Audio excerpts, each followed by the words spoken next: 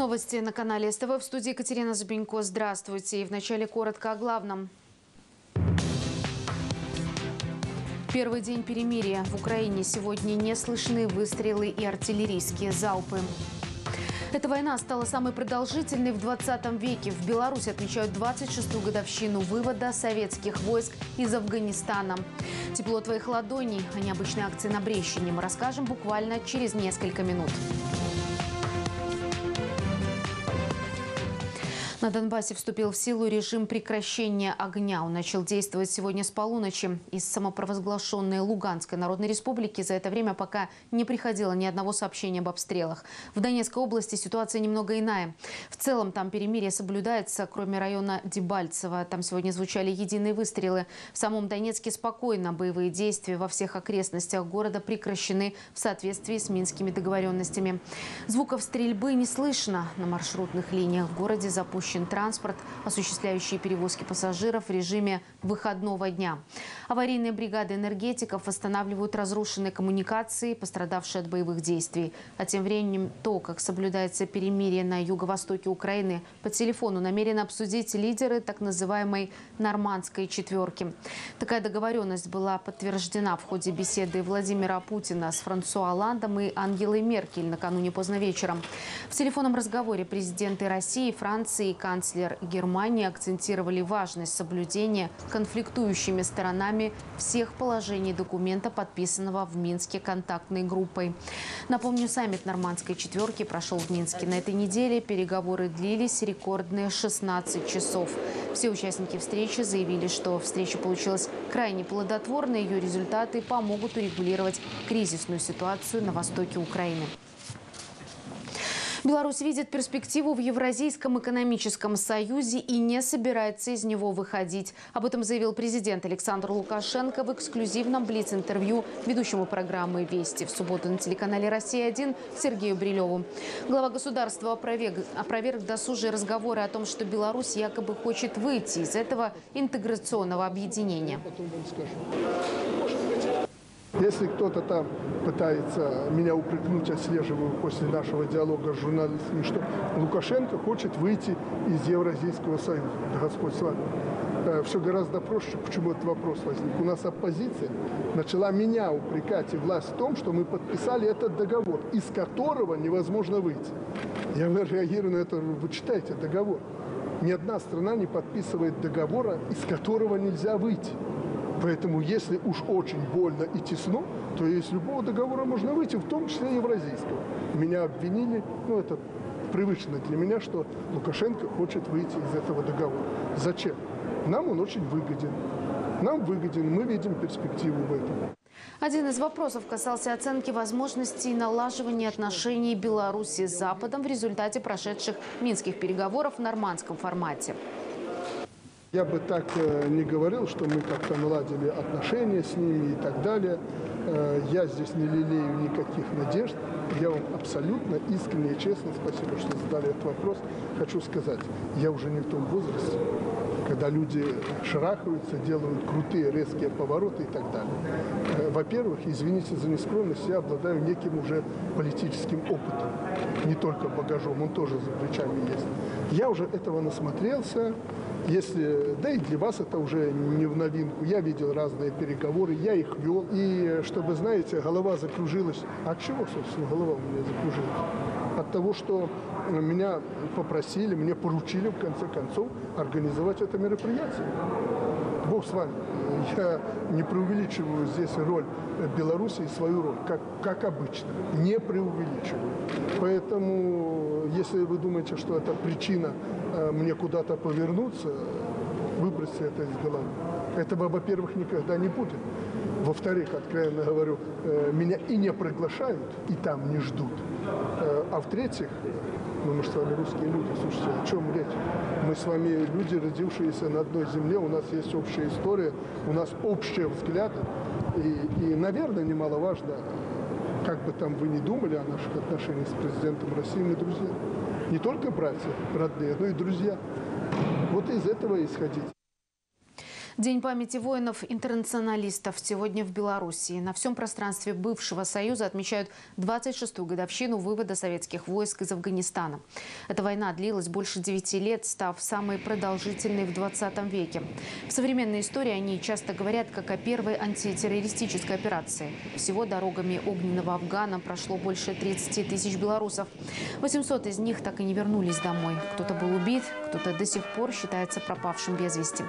Памятные акции, посвященные этой дате, проходят сегодня по всей республике. Традиционно к мемориалу на острове Мужества и Скорби в Минске возложили венки и цветы. Митинг «Реквием» собрал воинов-интернационалистов, родных и близких погибших солдат, представителей силовых ведомств и общественных организаций. Память тех, кто не вернулся с войны, по традиции почтили минуты молчания.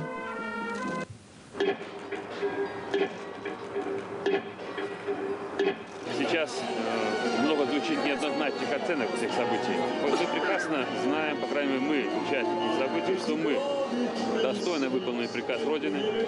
Мы вошли туда по приказу в Афганистан и вышли по приказу. И мы э, ничем не уронили честь советского солдата. Стараемся сейчас э, вот, э, почаще, побольше общаться с молодежью. Почему? Потому что вот это, что связано с патриотическим воспитанием, оно не появляется ни с того ни с сего. Оно должно быть воспитываться. По случаю Дня памяти к воинам-интернационалистам, ветеранам войны в Афганистане обратился президент Беларуси. Александр Лукашенко отметил, что наши соотечественники самоотверженно сражались с международным терроризмом, продолжали боевые традиции ветеранов Великой Отечественной войны и навечно обрели свою славу. Также глава государства подчеркнул, что наша страна всегда будет отдавать дань уважения поколению воинов-интернационалистов. ЧП в Логойском районе на территории школы взорвалась котельная. Погиб местный житель, молодой парень. Трагедия произошла сегодня утром. Само здание серьезно не пострадало и, как ожидается, работа котельной будет возобновлена завтра утром. А пока для обеспечения теплоснабжения задействовали модульную передвижную установку. Все обстоятельства произошедшего выясняются. Предполагаемая причина разрыва котла – нарушение правил использования печей. И в эти минуты готовится к эфиру итоговая информационно-аналитическая программа недели. И вот некоторые ее темы.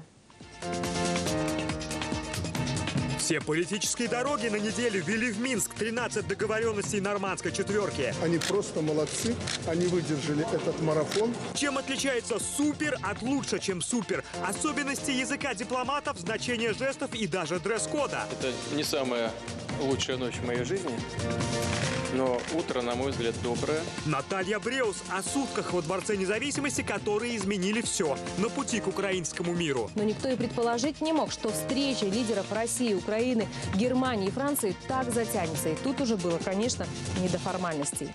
Как аукнется и как откликнется мировые СМИ о Минском саммите, заголовки новостей и их расшифровка. Well, this here is the palace where the summit is due to take place.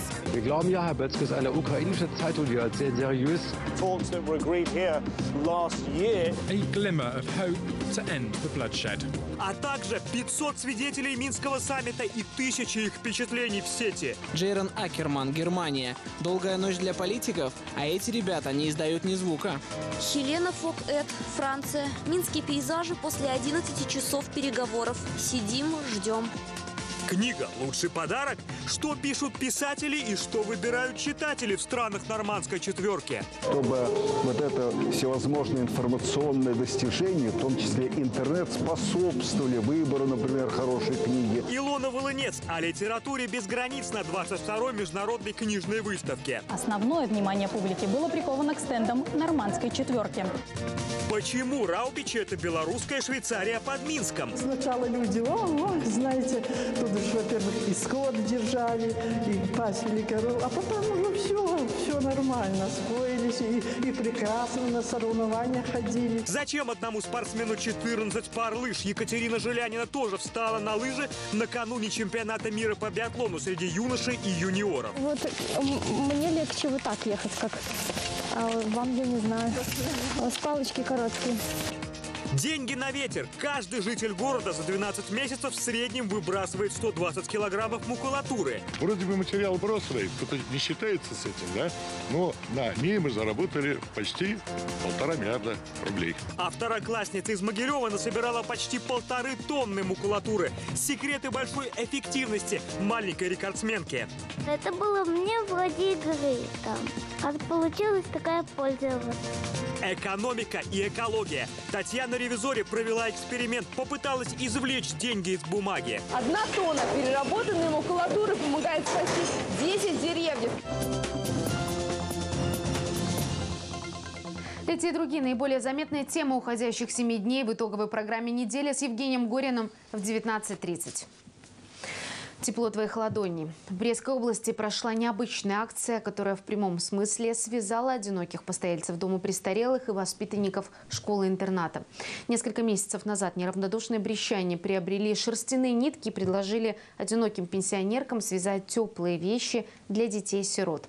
О том, как вязаные вещи связали судьбы, расскажут наши корреспонденты. Лидия Ивановна в прошлом депутат и ответственный работник. В ее трудовой книжке более 30 лет стажа, в паспорте четверо детей. Выросшая в детском доме, для своих малышей особенно старалась. Но в силу жизненных обстоятельств теперь она постоялец дома-интерната. Говорит, когда ей предложили поделиться своим теплом с сиротами, не раздумывала ни минуты. Я с- от души их хотела робить. Мне желание такое явилось, что мне спать не хотелось. Я так хотела, думаю, хай сиротки носят, им будет, будут обогревательные их. Симпатичные варежки Лидия Ивановна связала для Алины и еще пятерых воспитанников школы-интерната. Говорит, эти дети ей напоминают собственных внуков, которых очень давно не видела. Алине почти 11. В школе-интернате она живет уже четвертый год. В столь юном возрасте девочка успела понять. Главное в жизни – быть кому-то нужной. И мы, чтобы им делились, чтобы им помогали всегда. Чтобы их э, не, ну, не смотрели так косо, а хорошо с ними общались. Это бабушки связались, старались только для нас. Да, мне будет очень приятно. Организаторы акции решили в прямом смысле связать детское одиночество и забытую старость. Купили шерстяные нитки и предложили одиноким пенсионерам позаботиться о детях. Теплые варежки, шапки и шарфики в подарок получили почти 30 ребят. Хотели, чтобы эти бабушки, которые находятся здесь на попечении, на государственном попечении, передали через э, шерстяные нитки, через варежки, через шарфики, шапочки это тепло, которое э, согреет наших малышей в лютый мороз. Мы соединяем э, два одиночества. Дети, которые никогда не увидят своих бабушек и дедушек, и бабушки, которых, к сожалению, нет внуков. Педагоги нашей школы прилагают все усилия для того, чтобы каждый наш ребенок стал прежде всего человеком. Человеком, который умеет чувствовать, понимать чужую боль. В благодарность воспитанники интерната для названных бабушек устроили настоящий праздник. Привезли подарки и концертную программу. На прощание пообещали обязательно их снова навестить. Ведь теперь они знают, у них есть бабушки и их вещи несут особое тепло. Алексей Волков, Юлия Бешанова, Станислав Пекарский, телекомпания СТВ, Брестская область. Она не прощается, а говорит «до свидания». В Минске торжественно закрылась 22-я международная книжная выставка-ярмарка.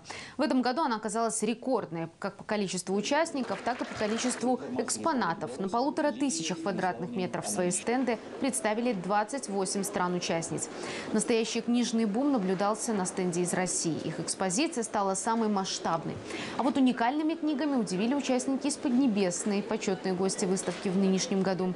На полках была даже представлена белорусская классика на китайском языке. Всего за дни работы выставку посетили более 40 тысяч человек. А сегодня около десятка участников ярмарки получили дипломы за лучшие экспозиции.